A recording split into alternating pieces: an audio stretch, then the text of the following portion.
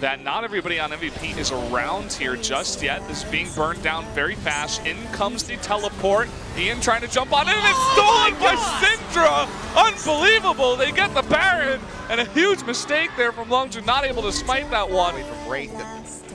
That turret almost certainly will be going down. Meanwhile, in mid lane, Tempt throwing out the exhaust. Valks forward, gravity field. He flashes back in. It locks him up, and Crown comes up with a solo kill. Crown was expertly playing around the W. The BBQ has to go back, which means the Bless is all alone.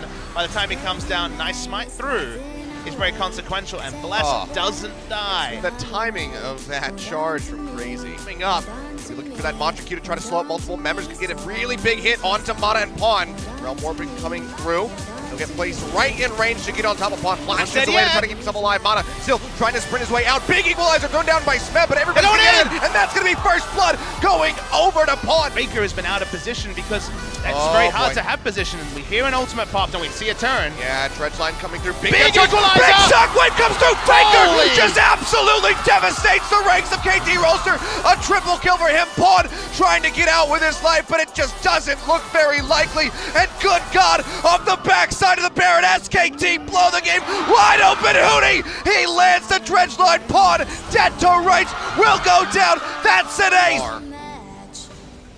Still evading them Big now. on Body Faker. slam forward onto Faker. Goes straight into the death mark.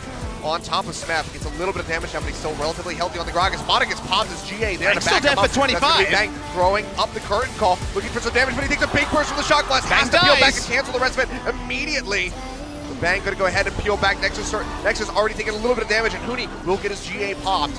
SKT still desperately holding on. Blank is up in 10 seconds. Can they buy enough time? Wolf has the Devourer, spits out. Dead. That's gonna be Bang going down. Finger going back in, trying to get on top of the score. He pops the GA, but can he do enough? It looks like No. he will not be able to. Deft firing away, but can't get it. Scores here. Can he finish it off? The answer is gonna be no. That's an ace. I'd be so damn impressed, but it's just hopeless now for KT Rolster. SK Telecom, in such a back and forth third game, are able to come out on top. They win the first telecom war.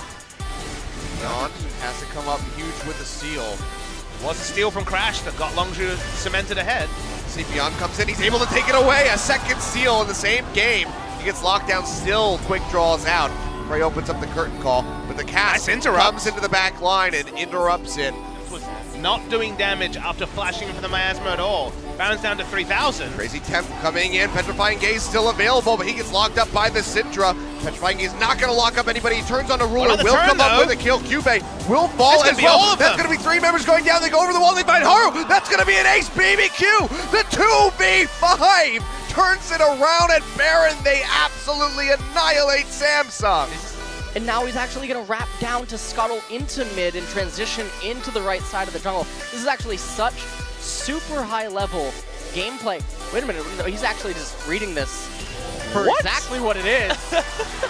What the hell? That's going to be the